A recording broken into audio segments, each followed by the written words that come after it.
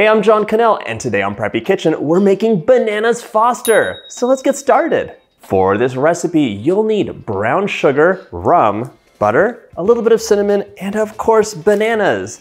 This is all to complement delicious ice cream, so grab some of that, and you'll be making this in a big pan. So first off, we're gonna grab some brown sugar. I want three quarters of a cup packed brown sugar. It's 165 grams, but I'm using my measuring cup today.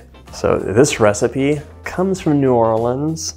And uh, in case you're wondering, it was named after Richard Foster. He did not invent the recipe. He was friends with the inventors, uh, Owen and Ella Brennan.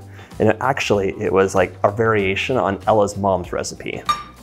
We're gonna take this brown sugar and crumble it in.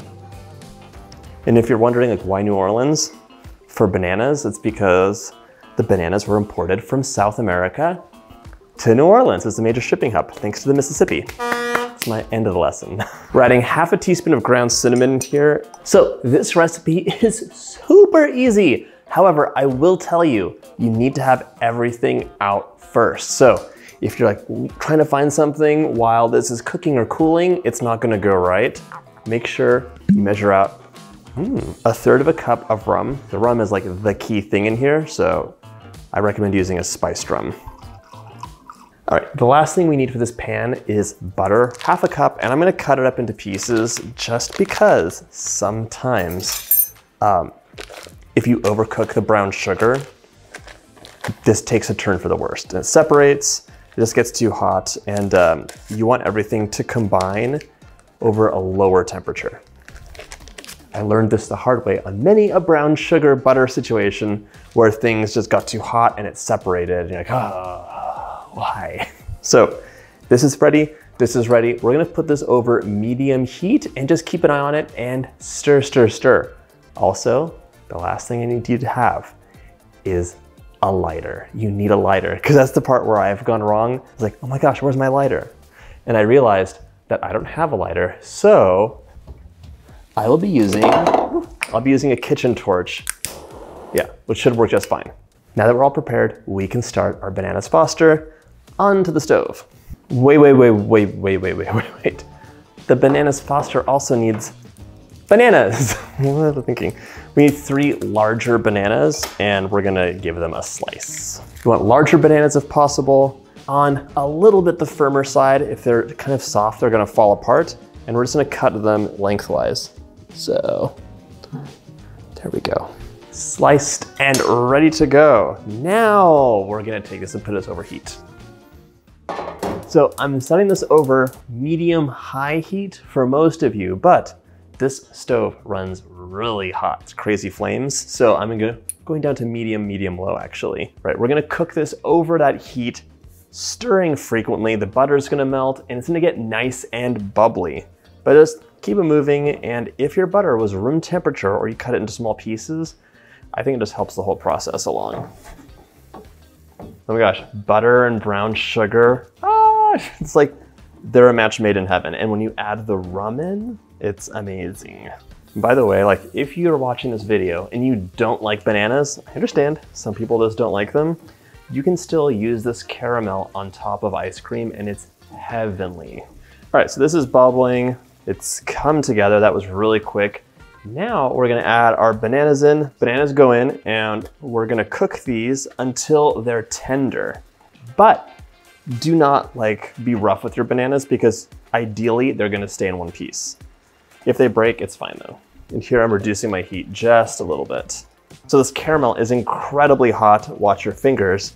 The nice thing is though, is gonna cook the bananas and just make them tender and really bring out more of their sweetness. And you can definitely flip these bananas over so they cook evenly too. So carefully and deftly flip them over or just spoon more caramel on top. That works too.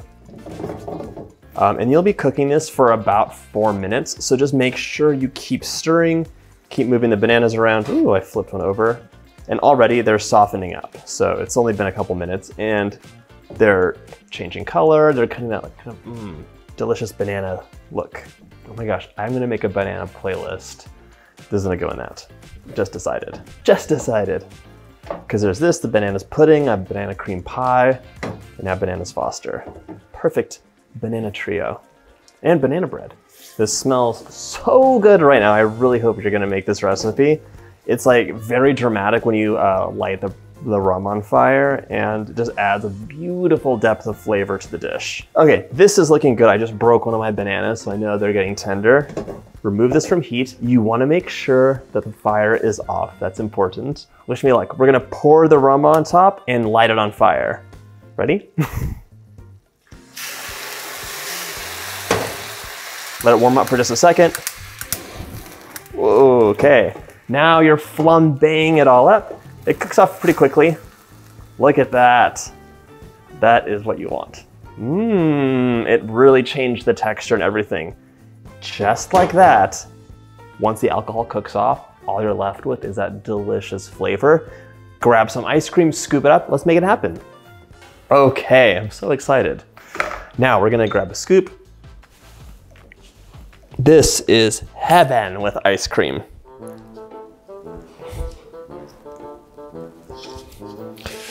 Ice cream is like a rock. oh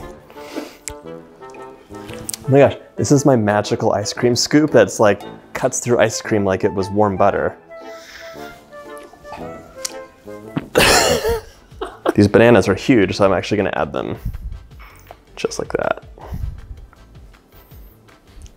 halves of bananas today. Take that caramel and ladle it over liberally. Oh, and you're gonna be everyone's new best friend, if you weren't already. Okay, I'm gonna fully tuck into this. You need to make this recipe too though. That is really good. I hope you get a chance to make this recipe and if you like this video, check out my banana playlist.